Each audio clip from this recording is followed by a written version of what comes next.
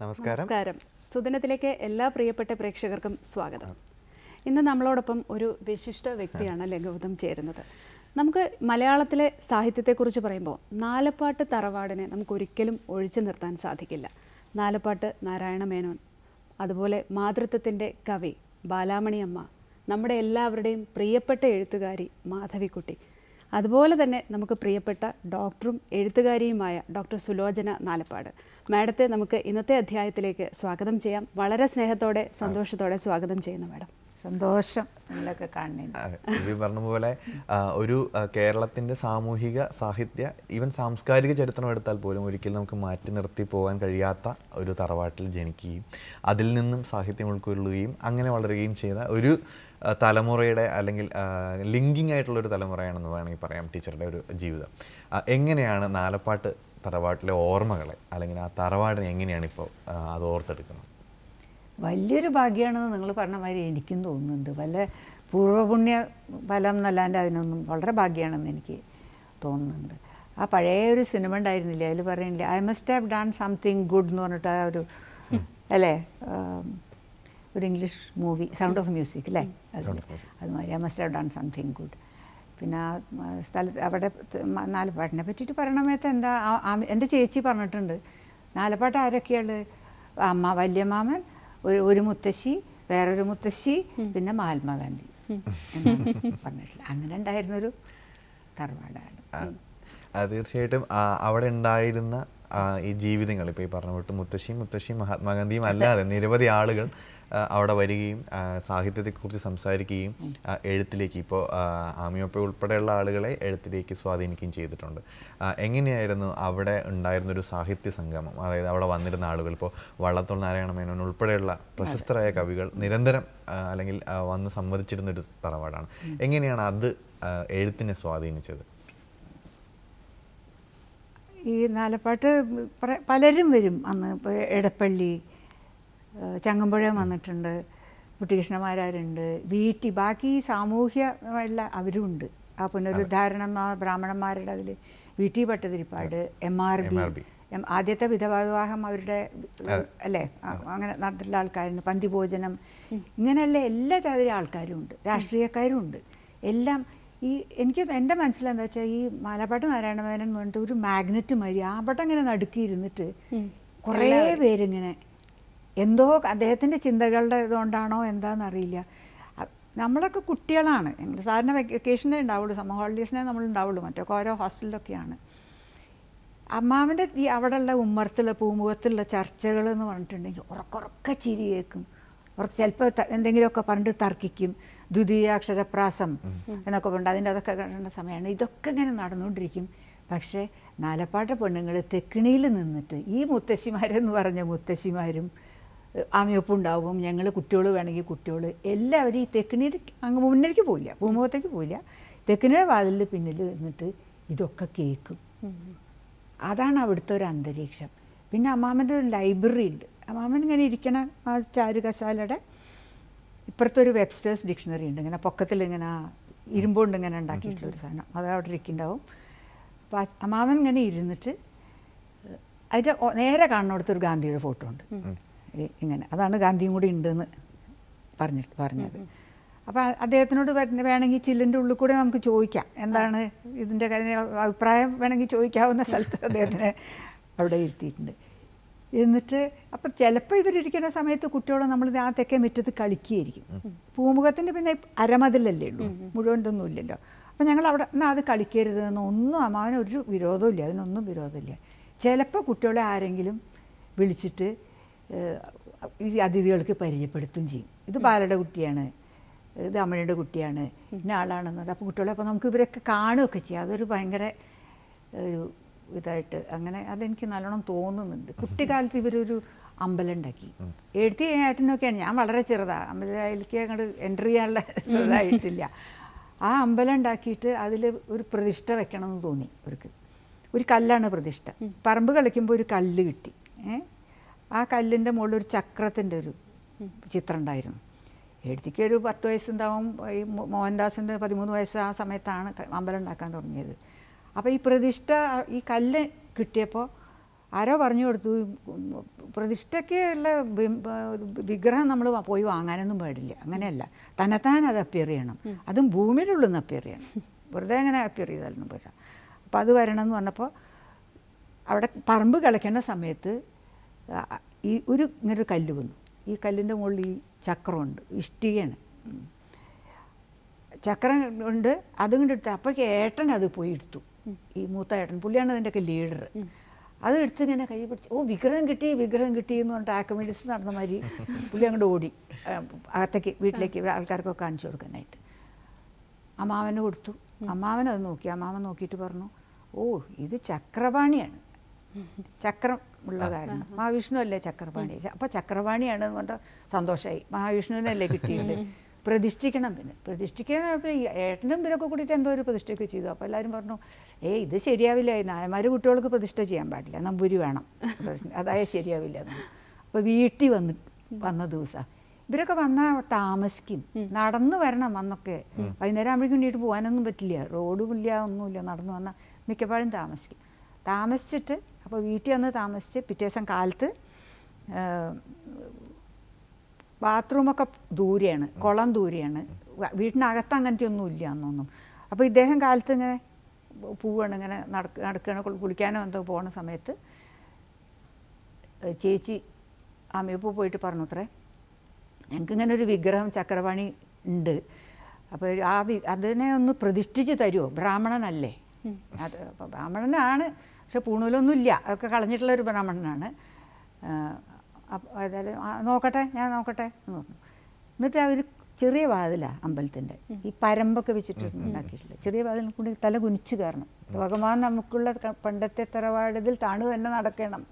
അല്ലെങ്കിൽ തല മുട്ടും എന്നുള്ള അതിന് അങ്ങനെ അതിന്റെ ഉള്ളിൽ കൂടെ കുനിഞ്ഞ് അങ്ങോട്ട് നോക്കിയിട്ട് ഇങ്ങനെ നോക്കിയിട്ട് പറഞ്ഞു പുള്ളിക്ക് കിടക്കാൻ തന്നെ സ്ഥലം എന്റെ ഉള്ളിൽ. ഓ ഈ വിദ്വാന ചക്രവാണി? എന്ന് ചോദിച്ചു. ആ ചക്ര അപ്പോൾ ചേച്ചിയാണ് ഉത്തരമൊക്കെ പറയുക ആ ചക്ര തന്നെയാണ് ചക്രവാണിയാണ്. വലിയ ശക്തിയുള്ള ദേവനാണ്. പരീക്ഷയ്ക്കൊക്കെ നല്ല മാർക്ക് കിട്ടും.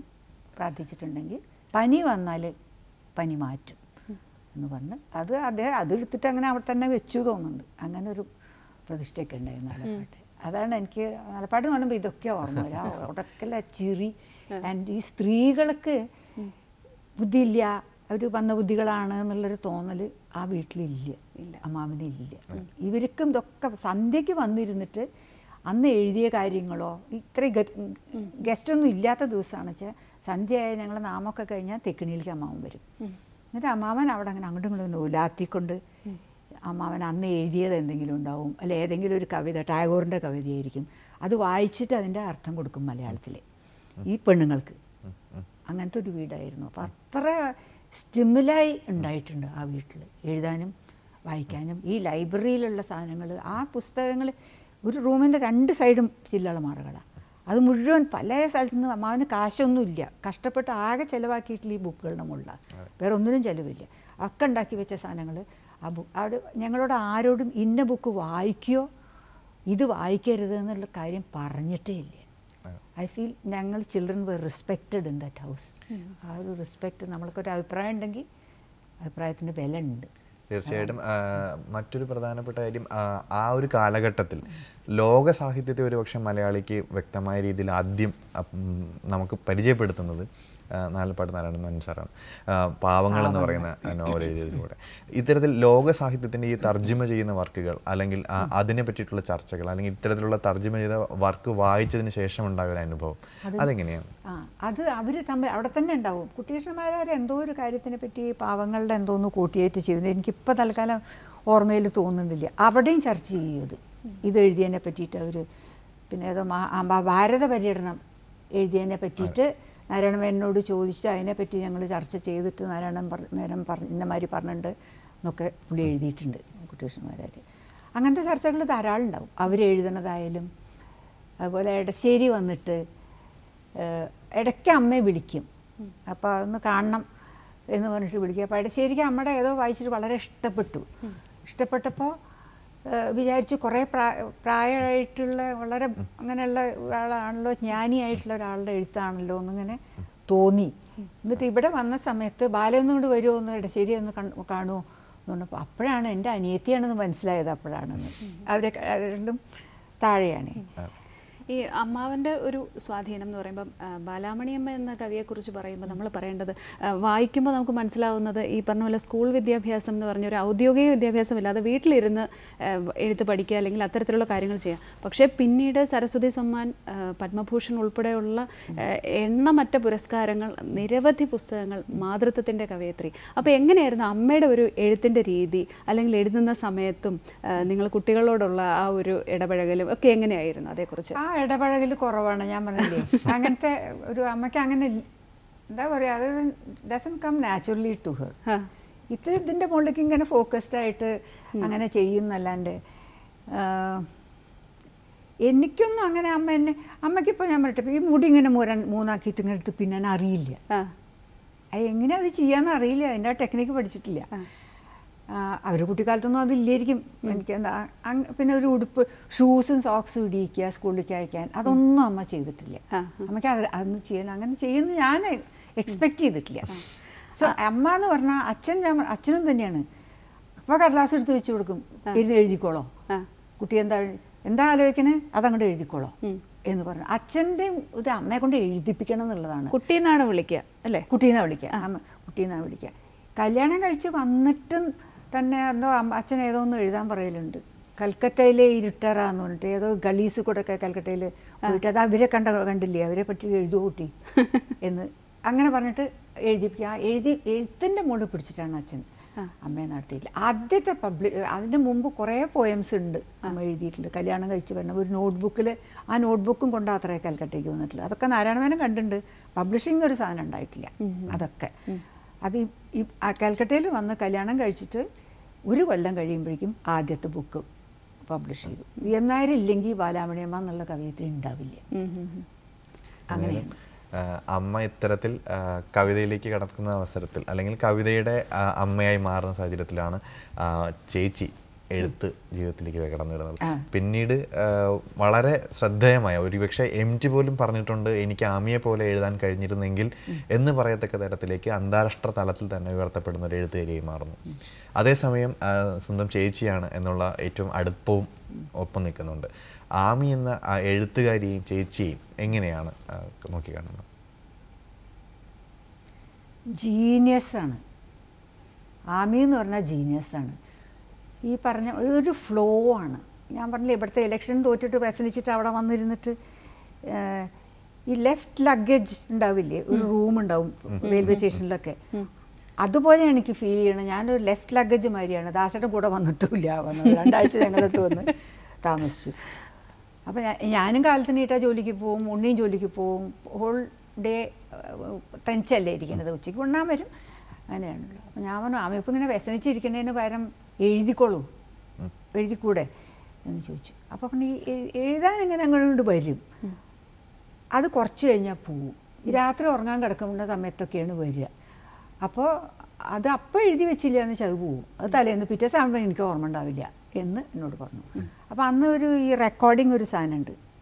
ഇങ്ങനെ ഒരു സാധനം ഇങ്ങനെ അമുക്കിയിട്ട് Tape, recording tape. ആ ടേപ്പ് റെക്കോർഡിംഗ് ടേപ്പ് ഉണ്ട്. അത് അമ്മയപ്പന്റെ റൂമിൽ ബെഡ് സൈഡിൽ ഞാൻ വെച്ചു കൊടുത്തു. അപ്പോൾ രാത്രി എന്താ തോന്നണതെന്ന് വെച്ചാൽ ആ തോന്നണ അമ്മയത്ത് ഇതൊന്നുകൊണ്ട് ഓൺ ചെയ്തിട്ടുണ്ട് പറഞ്ഞോളൂ. എന്ന് പറഞ്ഞു. രണ്ടാഴ്ച ഞങ്ങളുടെ അടുത്ത് നിന്നത്. അതിലാണ് ഒരു പന്ത്രണ്ട് കവിതകൾ ആനമല കവിതകൾ. അത് കംപ്ലീറ്റ് അന്ന് എഴുതിയിട്ടുള്ളതാണ്. എന്നിട്ട് ആ- കവിതകൾ എന്താ ചെയ്യണതെന്ന് പറയും അപ്പോൾ എന്റെ മനസ്സിൽ എന്റെ അമ്മ എഴുതണത് എങ്ങനെയാണെന്ന് വെച്ചാൽ എഴുതും പിന്നെയും തിരുത്തും. ഇങ്ങനെ ഇരുന്ന് കുറച്ച് വർക്ക് ചെയ്യും. അമ്മ ആ സാധനത്തിന്റെ മുകളിൽ അമ്മാവൻ പറഞ്ഞിട്ടുണ്ടല്ലോ പെർഫെക്റ്റ് ആക്കണം ഓരോ വാക്ക് എന്നുള്ളത് ഈ മാഡത്തിന് അങ്ങനത്തെ ഒന്നുമില്ല. അത് വന്നത് അങ്ങനെ അങ്ങോട്ട് എഴുതുക. അതാണ് ഞാൻ ആ ഫ്ലോ ആണ് ഡിഫറൻസ് ഒരു നയാഗ്ര വരണ വരെയാണ് അങ്ങോട്ട് വരിക. കാലത്ത് ഉണ്ണി ഓഫീസിൽ പോണ സമയത്ത് ഈ ടേപ്പ് കൊണ്ടുപോകും രാത്രിത്തെ അപ്പോൾ അവിടെ ഞങ്ങൾ ഉണ്ണിയുടെ അസിസ്റ്റന്റ് ഉണ്ട്. അസിസ്റ്റന്റെ ഭാര്യയുടെ പേര് മേറു എന്നാണ്. അപ്പോൾ അവൾ ഈ ഷോർട്ട് ഹാൻഡ് പിടിച്ചിട്ടുണ്ട്. അപ്പോൾ മേറുവിന് കൊടുത്തിട്ട് മേറു അത് എഴുതിയെടുത്തിട്ട് ഇങ്ങോട്ട് അയക്കും. എന്നിട്ട് ആമിയപ്പോൾ അത് കറക്റ്റ് ചെയ്യുക എന്നുള്ളതാണ്. അടിച്ച് പ്രിന്റ് ചെയ്ത് അയക്കും. ഒരൊറ്റ വാക്ക് മാറ്റിയിട്ടില്ല. മാറ്റേണ്ടി വന്നിട്ടില്ല. അത് വന്നു അതാണ് കഴിഞ്ഞു. That is come on to the paper that's all which അതവിടെ ഉണ്ട് ഇനി അത് വേണമെങ്കിൽ ആൾക്കാർക്ക് വേണമെങ്കിൽ എടുക്കാം എടുക്കാണ്ടിരിക്കുക അങ്ങനെയാണെന്നുള്ള അങ്ങനത്തെ ഒരു എഴുത്താണ്. അങ്ങനെ ഒരു ജീനിയസൊക്കെ കുറേ പ്രോബ്ലംസൊക്കെ എല്ലാവരും ഇങ്ങനെ വളരെ തെറ്റിദ്ധരിക്കപ്പെട്ടിട്ടുള്ള ഒരാളാണ് എന്റെ എഴുത്തി. പക്ഷേ ഒരു ജീനിയസിനൊക്കെ നമ്മൾ വീട്ടിലുണ്ടെന്ന് വെച്ചാൽ you have to take lot of things അതിന് അതിന് വലിയ വലിയ സാധനമല്ലേ നമുക്ക് തന്നിട്ടുള്ളത്? അപ്പോൾ ഞങ്ങളൊക്കെ അമീബിന്റെ ഭാഗത്ത്. ഈ പുസ്തകങ്ങളിൽ നമ്മൾ വായിക്കുമ്പോൾ ഓരോ കഥാപാത്രങ്ങളും നമുക്കറിയുന്നവരായിട്ട് മാറുകയാണ് അമ്യൂപ്പുവിന്റെ എല്ലാ കഥകളിലും എല്ലാ കഥാപാത്രങ്ങളും. അപ്പൊ പലപ്പോഴും പറയാറുണ്ടല്ലോ ഈ കഥാപാത്രങ്ങളൊക്കെ ചുറ്റും വന്ന് നിൽക്കുന്നു. അത് പറയുന്നത് പോലെ. ഞാനങ്ങ് എഴുതി പോവുകയാണെന്നുള്ള രീതിയിൽ. ഇപ്പൊ മലയാളത്തിലെ പോലെ തന്നെയാണ് ഇംഗ്ലീഷിലും. ഈ പറഞ്ഞതുപോലെ അതിന്റെ ഒരു ക്ലാസ് അല്ലെങ്കിൽ ഒരു ക്ലാസിക് സ്റ്റൈൽ രണ്ട് ഭാഷയും കൈകാര്യം ചെയ്യുക എന്ന് പറയുന്നത് അത്രത്തോളം എളുപ്പമായിട്ടുള്ള ഒരു കാര്യമല്ല. അപ്പോൾ അതിന് വേണ്ടിയിട്ടുള്ള എന്തെങ്കിലും രീതിയിലുള്ള തയ്യാറെടുപ്പുകളോ അല്ലെങ്കിൽ വീട്ടിലൊരു എന്തായിരുന്നു ഏത് രീതിയിലാണ് ആശയങ്ങൾ ഉൾക്കൊണ്ടിരുന്നത്? അതേക്കുറിച്ച് എന്തെങ്കിലും പറഞ്ഞിട്ടുണ്ടോ? ഈ ആമയപ്പൊക്കെ ഞങ്ങളൊക്കെ അച്ഛന് ഇങ്ങനെ ഇങ്ങനെ ഒരു പ്രോബ്ലം ഉണ്ട് അവിടെ ചെന്ന് അച്ഛൻ കുറേ കഷ്ടപ്പെട്ടു. ഈ ബ്രിട്ടീഷ് കമ്പനിയിൽ അന്ന് ക്യാപിറ്റൽ പന്ത്രണ്ട് കൊല്ലമായിട്ടുള്ളൂ ബ്രിട്ടീഷുകാർ ക്യാപിറ്റൽ കാൽക്കട്ട ടു ഡൽഹി മാറ്റിയിട്ട്. ആ സമയമാണ് ആ സിറ്റിയുടെ സ്ഥിതി ഒന്ന് ആലോചിച്ച് നോക്കണം. സാഹിബ് ഭരിക്കുന്ന സമയമാണ് അച്ഛന് കുറേ അതിന്റെ പ്രോബ്ലംസ് ഉണ്ടായിട്ടുണ്ടായിരുന്നു അപ്പം ഞങ്ങളെയൊക്കെ കാൽക്കട്ടയിൽ പ്രീ പ്രിപ്പറേറ്ററി സ്കൂൾസിലൊക്കെ പ്രൈമറി അതിൽ നമ്മളെയൊക്കെ പഠിപ്പിക്കും. അത് കഴിഞ്ഞാൽ രണ്ട് കൊല്ലം പുന്നൂർക്കുളത്തേക്ക് വരണം. അവിടെ എല്ലാവരും അമ്മൂമ്മമാരെയും എല്ലാവരെയും സ്നേഹിക്കാനും അവരുടെ രീതികൾ പഠിക്കാനും അങ്ങനെ വേണം. അത് അച്ഛന്റെ ഒരു നിർബന്ധമായിരുന്നു. അങ്ങനെ ചെയ്തിട്ടുള്ളതാണ്. ആ ആദ്യത്തെ സെയിന്റ് സിസ് സിസീലിയാസ് എന്നുള്ളൊരു സ്കൂളാണ് ആമി പോയിട്ടുള്ള സ്കൂൾ. അവിടത്തെ ഒരു കഥയെപ്പറ്റി കഥ പറയുന്നുണ്ട്. ഗവർണറുടെ വൈഫ് വിസിറ്റ് ചെയ്യുന്നുണ്ട് സ്കൂളിൽ വരുന്നുണ്ട്. ഇവർ അഞ്ച് കുട്ടികളെ ഉള്ളൂ കറുത്ത കുട്ടികൾ ഈ ക്ലാ ആ സ്കൂളിൽ ഈ ക്ലാസ്സിൽ എന്റെ ഏട്ടനും ആമയൊപ്പും പിന്നെ വേറെ മൂന്ന് കുട്ടികളും. നമ്മളെ ഫ്രണ്ട്സിന്റെ കുട്ടികളൊക്കെ തന്നെയാണ്. അവിടെ വെച്ച് അപ്പം തന്നെ എഴുതാൻ തുടങ്ങിയിട്ടുണ്ട്.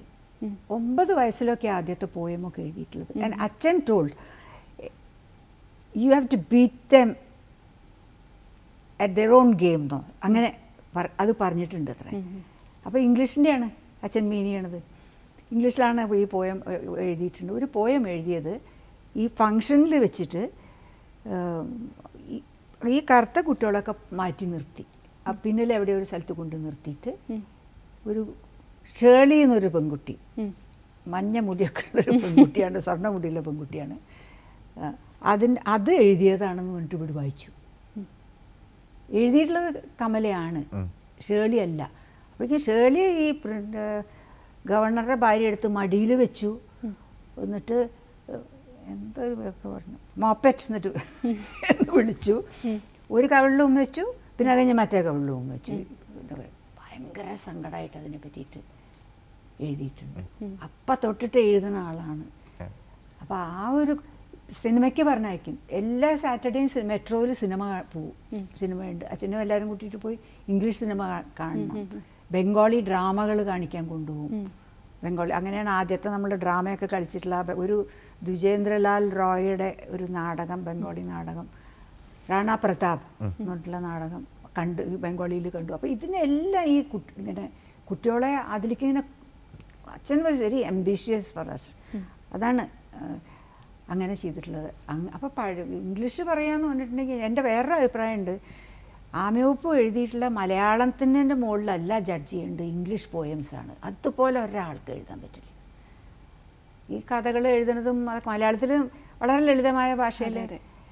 അത്. ഈ പുന്നൂർകുളത്ത് രണ്ട് കൊല്ലം പഠിച്ചു എന്ന് പറയും. പിന്നെ ഹോസ്റ്റലിൽ തൃശ്ശൂർ സെന്റ് ജോസഫ്സിലെ ഹോസ്റ്റലിൽ നിന്ന് പഠിച്ചിട്ടുണ്ട്. ബട്ട് സേർട്ടൻലി അതൊരു ക്ലാസ് തന്നെയാണ്. അതെ. ഇനി നമ്മളെപ്പോഴും സംസാരിക്കുക. അല്ലെങ്കിൽ ആമി എന്ന് പറയുന്നതിനപ്പുറം അപ്പുറത്തേക്ക് മലയാള സാഹിത്യത്തിൽ നിന്നൊരു നീർമാതള പൂവ് വിരിഞ്ഞു എന്നാണ് നമ്മളെപ്പോഴും അത്തരത്തിൽ വിശേഷിപ്പിക്കാറുള്ളത്. നിർമാതളം പൂത്ത കാലം ഒരു ഓർമ്മകളുടെ അല്ലെങ്കിൽ ആമി എന്ന വ്യക്തിയുടെ പല കാലഘട്ടത്തിലുള്ള സഞ്ചാരത്തിന്റെ ഒരു എന്താ പറയുക വായന അനുഭവം കൂടി നൽകുന്നുണ്ട്. എങ്ങനെയാണ് നീർമാതളം പൂത്ത കാലം എന്ന പുസ്തകത്തെ ടീച്ചർ എങ്ങനെയാണ് നോക്കിക്കാണുന്നത്? അതിനെങ്ങനെയാണ് വിലയിരുത്തുന്നത്? അതിലെല്ലാം ഓൾ ലൈഫ് ഉണ്ടല്ലോ അല്ലേ? ആ കൽക്കട്ട കാലങ്ങളും ഉണ്ട് എല്ലാം ഉണ്ട്. ഇവിടെയുള്ള കാലങ്ങളും ഉണ്ട്. അപ്പോൾ അമ്മമ്മയും അതാണ് അച്ഛനെ ഇങ്ങനെ രണ്ട് സ്ഥലത്തുമായിട്ട് വളർത്തിയതിന്റെ ഗുണമാണത്. മറ്റൊരു ഇങ്ങനെ ഈ വളരെ ബ്രിട്ടീഷ് സംസ്കാരത്തിൽ പത്താം ക്ലാസ് വരെ അവിടെ പഠിച്ചിട്ടുള്ള ഒരു കുട്ടിക്ക് ഇങ്ങോട്ടുള്ള ആ ഇതുണ്ടായില്ലേ? സോ അതൊക്കെ ആ എല്ലാം it was all correct whatever was done was all right എന്ന് ഐ ഓൾവേസ് ഫെൽറ്റ് നാല് പേര് അതിൽ മൂന്ന് പേരും ഡോക്ടേഴ്സാണ്. ഒരാൾ സാഹിത്യകാരി. പറഞ്ഞതുപോലെ എല്ലാവരുടെയും ഉള്ളിലും ഒക്കെ രക്തത്തിൽ തന്നെ സാഹിത്യമുണ്ട്. ഇപ്പോൾ സുലോചന മാഡത്തിലേക്ക് വരുമ്പോൾ വൈദ്യവൃത്തിയിൽ ഇത്ര വർഷം അതിനുശേഷം എനിക്ക് തോന്നുന്നു റിട്ടയർ ആകുന്ന സമയത്തേക്കാണ് എഴുത്തിലേക്ക് കൂടുതലായിട്ടും കോൺസെൻട്രേറ്റ് ചെയ്യുന്നത്. അതും ചേച്ചിയുമായിട്ട് ചേർന്ന് കവാടം എന്ന പുസ്തകം ഒക്കെ ഞങ്ങൾക്ക് വേണ്ടി തന്നിട്ടുണ്ട്. അപ്പോൾ എങ്ങനെയാണ് ആ എഴുത്തിന്റെ ഒരു രീതിയിലേക്ക് മാറാം? അല്ലെങ്കിൽ അത്തരത്തിലൊരു ആശയം മുന്നോട്ട് തന്നെ നേരത്തെ ഉണ്ടായിരുന്നു അത്തരത്തിൽ ഏതെങ്കിലും ശ്രമങ്ങൾ ഉണ്ടായിരുന്നു എങ്ങനെയായിരുന്നു അത്? ആലോചിച്ചിട്ടേ ഇല്ല. എഴുതാൻ എനിക്കൊന്നും ഞാൻ ആലോചിച്ചിട്ടില്ല. ഒരാളൊക്കെ ഒരു വീട്ടിലുണ്ടായാൽ പോരെ എഴുതാനായിട്ട്. എന്നുള്ളത് ഞാൻ എനിക്കങ്ങനെ ആലോചിച്ചിട്ടില്ല. പിന്നെ നമുക്കൊരു ഇതുണ്ടാവും. എനിക്ക് എന്റെ മനസ്സിൽ ഒരു കോംപ്ലക്സ് ഉണ്ടായിരുന്നു. ആ വളരണ കാലത്തൊക്കെ എഴുത്തിനമാതിരി എനിക്ക് എന്തായാലും ആവാൻ പറ്റില്ല. എന്നുള്ള സൗന്ദര്യത്തിലായാലും എന്താണ് ഭംഗി? അപ്പം നമ്മൾ ഡിസൈഡ് ചെയ്യും ഇതല്ല ഇതിലല്ലെങ്കിൽ വേറെ എനിക്ക് നന്നാവാൻ പറ്റിയ വേറെ ഫീൽസ് ഉണ്ടാവും. അതിൽ ഞാൻ നന്നായിട്ട് ചെയ്യണം എന്നുള്ള. അപ്പം അത് ഭംഗിയുടെ കാര്യത്തിലല്ല.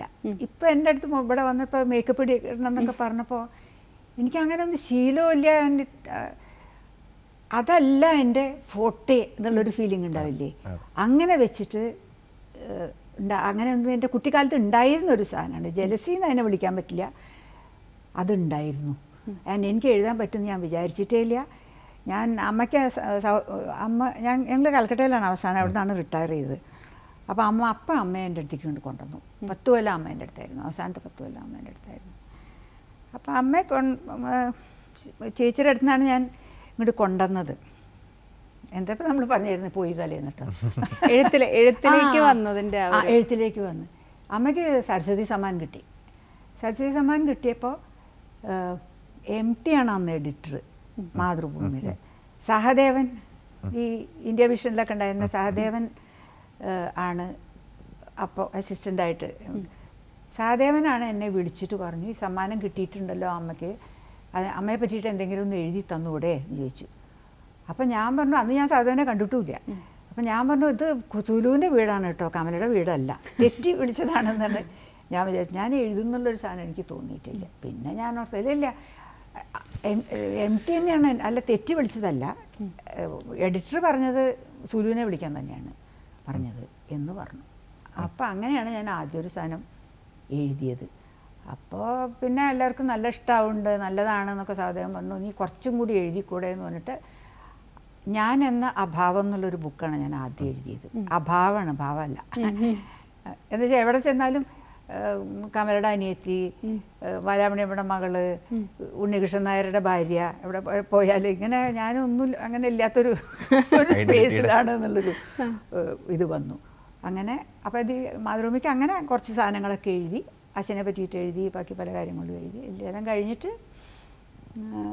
പിന്നെ കുറച്ച് എഴുതാൻ അങ്ങോട്ട് തുടങ്ങി. എത്രയേ ഉള്ളൂ. അങ്ങനെ എഴുതിയുള്ളൂ പിന്നെ ഇപ്പം കാര്യമായിട്ട് ഇല്ല തന്നെ ഞാൻ അവസാനം എഴുതിയിട്ടില്ല. എന്റെ ജ്യേഷ്ഠത്തി കമലയാണ് മരിച്ചേ പിന്നെ എന്റെ ഉള്ളിൽ അമ്മയൊപ്പോണ്ടേ അമ്മ അതെ ഭയങ്കരമായിട്ട് ഉള്ളിലുണ്ട്. ബിക്കോസ് അമ്മയുടെ എല്ലാ ബുക്സും പോയംസ് മുഴുവൻ കമ്പൈൽ ചെയ്ത് ആ ബുക്സ് പല ഭാവത്തിലുള്ള ഇതാക്കിയിട്ട് ചാന ചെയ്തിട്ടുള്ളത്. അപ്പോൾ അമ്മ വല്ലാന്റെ മനസ്സിൽ കയറി അതുപോലെ ആമിയൊപ്പനെയും അത് എന്നും ഉണ്ട്. വലിയ എന്താ പറയുക അഡറേഷനാണ് ഐ അഡോർ ഹർ മൂന്നാറിന്റെ കഥകൾ. അതായത് പുന്നേർകുളത്തിൽ നിന്ന് അല്ലെങ്കിൽ നാലപ്പാട്ട് നിന്ന് ഉള്ള ഒരു കഥാപശ്ചാത്തലം അവിടുത്തെ നാട്ടിടവഴികളും മറ്റു കാര്യങ്ങളും ഒക്കെ പിച്ച വെച്ച് നടന്ന കാലം മുതൽ ഉള്ളിലുണ്ടാവുകയും അത് സാഹിത്യത്തെയും വായനയും പ്രോത്സാഹിപ്പിക്കുകയും ചെയ്തൊരിടത്തുനിന്ന് ആ കഥാ സാഹചര്യങ്ങളൊക്കെ പലതും മാറ്റി അങ്ങോട്ടും ഇങ്ങോട്ടും മാറ്റി നട്ടുകൊണ്ടാണ് മൂന്നാറിലെ കഥകൾ ഉൾപ്പെടെയുള്ള പുസ്തകങ്ങളിലേക്ക് വരുന്നത്. എങ്ങനെയായിരുന്നു ആ പുന്നേർകുളത്ത് നിന്ന് മൂന്നാറിലേക്കുള്ളൊരു ഒരു യാത്ര? പുന്നയൂർക്കുളവും കോഴിക്കോട്ടെ മെഡിക്കൽ കോളേജിലാണ് ഞാൻ പഠിച്ചിട്ടുള്ളത് അങ്ങനെയൊക്കെയാണ് എനിക്ക് പിന്നെ മദ്രാസിലെ തിരാതിൽ പഠിച്ചിട്ടുണ്ട് ആ പ്രീ അന്നൊക്കെ പ്രീ യൂണിവേഴ്സിറ്റിയാണ്. അങ്ങനത്തെ ഒരു സെറ്റപ്പ് ഞങ്ങൾ വീട് ഭയങ്കര ഗാന്ധിയൻ വീടാണ്. കർട്ടനും കൂടി വെള്ള ക- കാതി കർട്ട കർട്ടന. അങ്ങ അങ്ങനത്തെ ഒരു സ്ഥലത്ത് നിന്ന് മുന്നാറിലേക്ക് അങ്ങോട്ട് വന്നപ്പോൾ അതും ബ്രിട്ടീഷേഴ്സാണ് അന്ന് കൂടുതൽ സ്കോട്ടിഷ് കമ്പനിയാണ് അത് ജെയിംസ് മില്ലിയൻ കമ്പനിയാണ് അന്ന് ആ കാലത്ത്. അവിടെ കള്ളുകുടിയും ഡാൻസിങ്ങും ന്യൂ ഇയർ പാർട്ടിയും ഒക്കെ കൂടി കണ്ടിട്ട് ഞാൻ ആകെ കൊളായി എനിക്ക്. എന്താ ചെയ്യേണ്ടതെന്ന് അറിയാത്തൊരു ഐ വാസ് വെരി മിസറബിൾ ആ സമയത്ത്. ഞാൻ ഒരു ഡ്രിങ്ക് എന്നുള്ളൊരു സാധനം എന്റെ ജീവിതത്തിൽ കണ്ടിട്ടുണ്ടായിരുന്നില്ല അതിന് മുമ്പ്. ആ മൂന്നാറിൽ പോണതിന്റെ മുമ്പ്. ഞങ്ങൾ കല്യാണം കഴിച്ചിട്ട് വീട്ടിൽ അവിടെ എത്തി മാനേജറുടെ വീട്ടിലേക്ക് ഉച്ചയ്ക്ക് ഊണ് കഴിക്കാൻ വിളിച്ചു നെക്സ്റ്റ് ഡേ ഊണ് കഴിക്കാൻ വിളിച്ചു. അപ്പോൾ ആ മാനേജർ മാൻഡിൽ പീസിന്റെ അവിടെ ഇങ്ങനെ പോയി നിന്നിട്ട് ഒരു ഗ്ലാസ്സിൽ ഇങ്ങനെ വെള്ളം വെള്ളമാണ് എന്നാണ് ഗ്ലാസ്സിൽ ഇങ്ങനെ വെള്ളം ഒരു ഗ്ലാസ് രണ്ട് ഗ്ലാസ് മൂന്ന് ഗ്ലാസ് നാല് ഗ്ലാസ് ഒക്കെ ഇങ്ങനെ കുടിക്കുക. അപ്പോൾ എനിക്ക് ചേച്ചി എത്ര ഞാൻ തിരിച്ചു വരണേ അപ്പൊന്നും ഞാനൊന്നും പറഞ്ഞില്ല കേട്ടോ. തിരിച്ചിങ്ങോട്ട് വരണ സമയത്ത് അന്ന് ബൈക്കാണ് ബൈക്ക് ഊണിയുടെ പിന്നിലിരുന്ന് ഞാൻ വരണ സമയത്ത്. ഇയാൾക്ക് എത്ര താഴുണ്ടെങ്കിലും ഇങ്ങനെ അഞ്ചാറ് ഗ്ലാസ് ഒക്കെ വെള്ളം എങ്ങനെയാണ് കുടിക്കാൻ പറ്റുക? ചോദിച്ചു അപ്പോൾ ഉണ്ണി പറഞ്ഞു അത് ജിന്നാണ്. വെള്ളമല്ല കുടിക്കണത്. എന്ന് അങ്ങനെയാണ് ഞാൻ ആദ്യം ഈ സാധനം കണ്ടിട്ടുള്ളത് അപ്പോൾ തുടക്കത്തിൽ നല്ല പ്രയാസം ഉണ്ടായിരുന്നു. അതായിട്ട് അങ്ങോട്ട് അഡ്ജസ്റ്റ് ചെയ്യാനുള്ള പ്രോബ്ലംസ് ഉണ്ടായിരുന്നു. പിന്നെ അവരൊക്കെ വളരെ ടൈമിങ്ങിന്റെ കറക്റ്റ്നെസ് എല്ലാം ഉണ്ട്. ക്ലബിൽ പോയാൽ കാരണം മാനേജറുടെ ഭാര്യ നമുക്ക് പറഞ്ഞു തരാം. അസിസ്റ്റന്റിന്റെ ഭാര്യ വന്നിട്ടുണ്ടെങ്കിൽ നമുക്ക് പറഞ്ഞു തരാം. ക്ലബിൽ പോയാൽ don't you you don't speak to anybody unless you are to ആ അവസരത്തിലാണ് തേയില ഉൾപ്പെടെയുള്ള നോവലുകളുടെ ഒരു പ്ലാന്റേഷന്റെ ഒരു പശ്ചാത്തലവും ഒക്കെ അപ്പൊ അതെങ്ങനെയാണ്? ആ നോവലിനെ ഇപ്പൊ എങ്ങനെയാണ് ഓർത്തെടുക്കുന്നത്? അതിന്റെ ഒരു പശ്ചാത്തലം. അതിന്റെ പശ്ചാത്തലം ഇതൊക്കെ തന്നെയാണ്. ശരിക്കും എന്റെ മനസ്സിൽ അതിൽ ആ ഒരു അച്ഛനുണ്ടല്ലോ നാരായണ പേരൊക്കെ ഞാൻ മറന്നു. ഉണ്ണിയുടെ അച്ഛനാണ്. ആ. അത് നല്ല ഇംഗ്ലീഷൊന്നും പറയാനൊന്നും അറിയണ്ടാവില്ല. ബട്ട് ഭയങ്കരമായിട്ടുള്ള ഒരാളാണ്. പണ്ടൊക്കെ നമുക്ക് അവിടെയൊക്കെ ഇംഗ്ലീഷ് ശരിക്കും പറഞ്ഞില്ലെങ്കിൽ മോശക്കാരാണ്. എന്നുള്ള അങ്ങനത്തെ ഒരു സ്ഥലത്തേക്കാണ് ഞാൻ എത്തിയത്. നേരെ ബിഹേവ് ചെയ്യാൻ അറിയില്ല എന്ന് വെച്ചാൽ എന്നൊക്കെ. അവസാനം പിന്നെ അവസാനം എനിക്ക് മനസ്സിലായി. ഇയാളുടെ എന്റെ ക്ലാസ്സിൽ ലൈം ജ്യൂസാണ് ഇദ്ദേഹത്തിന്റെ ക്ലാസ്സിൽ വിസ്കിയാണ് എന്ന് വെച്ചാൽ ഒരു കുഴപ്പമില്ല. രണ്ടായാലും വിരോധമില്ല. നമ്മൾ പറയണത് ഒരു ബുദ്ധിപൂർവമുള്ള എന്തെങ്കിലും നല്ല കാര്യങ്ങളാണ് പറയണതെന്ന് വെച്ചാൽ ദാറ്റ് ഇസ് ഇമ്പോർട്ടന്റ് എന്റെ കയ്യിൽ ഞാൻ എന്താ ഹോൾഡ് ചെയ്യണമെന്നുള്ളതല്ല എന്നുള്ളതല്ല കുറേ ഒരു ഈ പുഴ കല്ലുകളൊക്കെ ഇങ്ങനെ പാറയുടെ മുകളിൽ കൂടി ഇറങ്ങി വന്നിട്ട് ഇങ്ങനെ ഉരുണ്ട് ഉരുണ്ട് ഉരുണ്ടി. ആ ഉരുട്ടി ഉരുട്ടി എന്നെ അങ്ങോട്ട് കൊണ്ടുവന്ന് ഈ സമതലത്തിലേക്ക് അങ്ങോട്ട് എത്തിച്ചവിടെ നിന്ന് ഇപ്പം എനിക്ക് മുന്നാറെന്ന് പറഞ്ഞാൽ എന്റെ തറവാട് നാലപ്പാട്ടല്ല മുന്നാർ അങ്ങനെയാണ് എന്നാലും ഇത്രയും വർഷം കാത്തിരുന്നിട്ടാണ് അല്ലെങ്കിൽ അത്രയും വർഷത്തൊരു ഇടവേളയ്ക്ക് ശേഷമാണ് എഴുത്തു തുടങ്ങുന്നത്. മനസ്സിനകത്തൊരു മുറി ഉൾപ്പെടെയുള്ള പുസ്തകങ്ങൾ പുറത്തു വന്നു. നിരവധിയായുള്ള പുസ്തകങ്ങൾ എഴുതിക്കൊണ്ടിരിക്കുന്നു. ഒരു എഴുത്തുകാരിയായി മാറുമ്പോൾ ഏറ്റവും ശ്രദ്ധിക്കുന്ന അല്ലെങ്കിൽ ഏറ്റവും ചലഞ്ചിങ് ആയിട്ടുള്ള ഒരു കാര്യം എന്താണ് ഫ്രണ്ടിൽ എഴുതണയിലല്ല ചലഞ്ച് എഴുതണയിലും ഇപ്പോൾ ഇങ്ങനെ ഒരു എഴുത്ത് കുടുംബത്തിൽ നിന്നാണ് അല്ലെങ്കിൽ അങ്ങനെ സാഹിത്യ കുടുംബത്തിൽ നിന്ന് വരുന്നു. എഴുതുകയവരൊക്കെ എഴുതുകവരൊക്കെ വളരെ അറിയപ്പെടുന്ന ആളുകൾ വളരെ നല്ല എഴുത്തുകൾ ടീച്ചറും ആ എഴുത്തിലേക്ക് വന്നുകൊണ്ടിരിക്കുന്നു. അപ്പോൾ എന്താണ് ഡിഫറെന്റ് ആയിട്ട് എന്താണ് കൊടുക്കണമെന്ന് വിചാരിക്കുന്നു? ഞാൻ ശരിക്കും എഴുത്തുകാരിയല്ല ഫസ്റ്റ് ഈ ആദ്യം അങ്ങനെ കുറച്ചൊരു പത്ത് പുസ്തകങ്ങളൊക്കെ എഴുതി പിന്നെ കാര്യമായിട്ട് അങ്ങനെ എഴുതിയിട്ടില്ല. അവസാനം ഞാൻ എഴുതിയിട്ടുള്ളത് എന്റെ ജ്യേഷ്ഠത്തി കമല ആണ്. മലയാളത്തിലാണ് അത് എഴുതിയിട്ടുള്ളത്. ഇപ്പോൾ എല്ലാവർക്കും ഒരു കോൺട്രവേഴ്ഷ്യൽ ആൾ ആളാണെന്നുള്ള കാരണം എന്റെ ടേക്ക്. നിങ്ങൾ അങ്ങനെയല്ലേ ചോദിക്കുക? വാട്ട് ഇസ് യുവർ ടേക്ക് ചോദിക്കുന്നത് എന്റെ ടേക്ക് ഓൺ കമല. അത് ആൾക്കാർക്ക് അറിയണം എന്ന് എനിക്ക് തോന്നി. അത് മലയാളത്തിൽ എഴുതിയാൽ പോരാ. ഇംഗ്ലീഷിൽ എഴുതിയാലേ കുറച്ചും കൂടെ ആൾക്കാർക്ക് കിട്ടുള്ളൂ എന്ന് വിചാരിച്ചു. അത് ഞാൻ ഇപ്പോൾ ട്രാൻസ്ലേഷൻ ഒരുമാതിരി കഴിഞ്ഞിട്ട് ഇരിക്കുകയാണ്. ഡിസംബർ ആകുമ്പോഴേക്കും കൊടുക്കാൻ പറഞ്ഞിട്ടുണ്ട്. ഒരു തീർച്ചയായിട്ടും. ഞങ്ങളും അതിനു വേണ്ടിയിട്ട് കാത്തിരിക്കുകയാണ്. ഇനിയും ഒരുപാട് സൃഷ്ടികൾ ഉണ്ടാവട്ടെ. ഞങ്ങളും അതിനുവേണ്ടി ഒരുപാട് കാത്തിരിക്കുന്നു. എന്തായാലും വളരെ സന്തോഷം. ഇത്രയും സമയം നാലപ്പാട്ട് തറവാട് ഞങ്ങൾ വായിച്ചുള്ള പരിചയം. അത് നേരിട്ട് അറിയുമ്പോൾ അതിലേറെ സന്തോഷം. വളരെ സന്തോഷം ഇത്രയും നേരം ഞങ്ങളോടൊപ്പം ചെലവഴിച്ചതിൽ. ഒപ്പം നന്ദിയും അറിയിക്കും എല്ലാവിധ ആശംസകളും സ്നേഹവും ഈ അവസരത്തിലേക്ക് പെടുത്തുന്നു തീർച്ചയായിട്ടും ഈ ഒരു സുദിനം ഒരുപാട് ഓർമ്മകളുടെ ഒരു നീർമാതളം പൂത്ത് കൊഴിഞ്ഞു പോകുന്നത് പോലുള്ള ഒരു ഓർമ്മയായി ഈ സുദിനവും നിലനിൽക്കും എന്നുള്ളതിൽ ഞങ്ങൾക്ക് സംശയമൊന്നുമില്ല.